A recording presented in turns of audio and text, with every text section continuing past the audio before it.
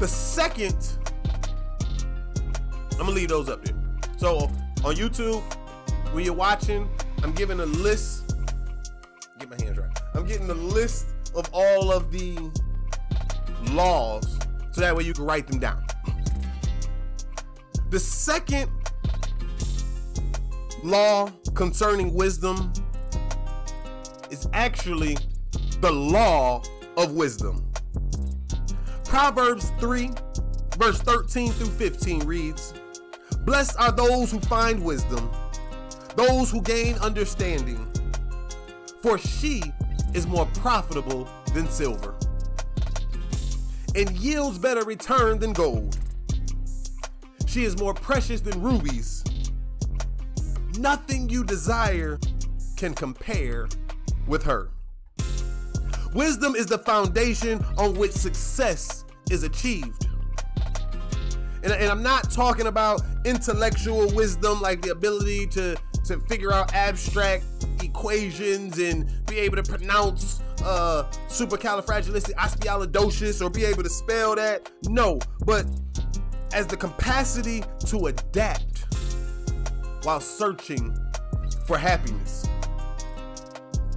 Wisdom should be constant in everyone's life and, and it involves three degrees or levels. The first degree. The first degree of wisdom is having wisdom in general, the necessary knowledge, good sense and information to make the right, right decisions, right choices, have the right attitudes in life. The second degree of wisdom is a professional competence relating specifically to knowledge of how to work, which requires intelligence and skills. The third degree of wisdom involves in depth knowledge at the intimate level of the necessary areas and people required for success. James 3:13 says, "Who is wise and understanding among you? Let them show it by their good life, by deeds done in humility that comes from wisdom." The first is the most important. It's general knowledge. It's general wisdom, like our decision making, the happiness, the balance that we're making. Like the values are like the guardrails on a freeway to help us to keep you on the road. Y'all ever been driving at night? Y'all have been driving. Y'all haven't been driving on a highway at night in the mountains. I have. I, it's scary. It's very scary. Me and my mama used to go riding all the time up and down the East Coast. But those guardrails, like lights flashing. They don't have they're not lights, but the, the light hits it or the moon hits it if you're driving at night, right? And, and, it hits it, the lights hit it, you can see it. Your lights on your car hit it, so you can see it while you're driving. So it's not like, oh my gosh, there's the side of the mountain, we're gonna just fall off. No, you have that guide rail that is guiding you along the mountain. You feel safer. That's that wisdom.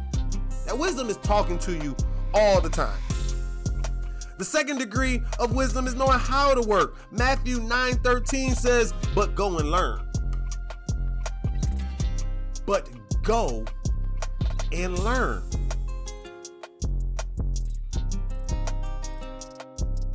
But go. But go. That means you got to get up. That means you can't just be on social media all the time. That means you can't just be sitting around smoking, drinking, uh, just twiddling your fingers, playing video games all day. But go. And when you go, don't just don't just be like a boxer beating aimlessly in the air. Go and learn. It takes wisdom to go. It takes a second degree of wisdom to learn. I asked this in the beginning how do you define success? The way that you define success in every area or in different areas of your life is what's going to help you determine what you need to learn. So, I'm going to give you two quick things that you can learn. You can learn how to work intelligently, and you need to learn how to work skillfully. Intelligence plus skill yields results. Our goal should be finishing a useful task in the most efficient and productive manner possible. It's okay to slow down and think, y'all.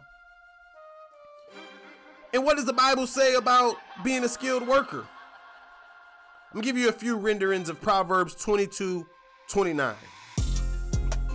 Do you see someone skilled in their work?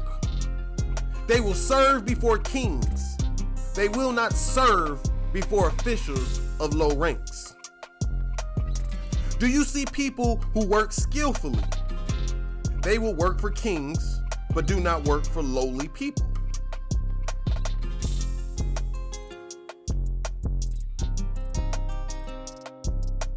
Someone who works well and is skillful, clever, and dedicated will quickly reach the top.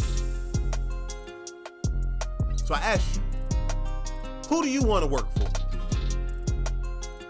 A king or a peasant? Don't don't nah stop it. Don't try to get all deep with me. Ain't none of y'all trying to go work for a peasant. Peasant ain't paying. And they are paying, you're not getting the full benefit that you're gonna get from the king. king got it all. He knows that you're struggling. And again, we're not talking about a greedy king. We're talking about a real king. All right? We ain't talking about no Putin. Talking about a real king. The one that knows that he has he has a responsibility to take care of his kingdom. The third degree of wisdom is in-depth knowledge. Proverbs 27 23 reads, Be sure you know the conditions of your flock. Give careful attention to your herd. When talking about knowledge, the condition of the flocks, the Bible is referring to how much you know about someone or something else, a degree of knowledge. For those who's ever been in a relationship or currently in a relationship, your man or your woman, your child, your parent, they come into the house, they don't say anything. But you know how they feel. You know how their day went. There's there's a level of knowledge, deep knowledge, that when you're in tune to your flock, you know if your flock is hungry, if they're sad, if they're disturbed, whatever it may be you know because you're paying attention to your flock. Proverbs 20 15 reads, Gold there is, and rubies in abundance, but lips that speak knowledge are a rare jewel.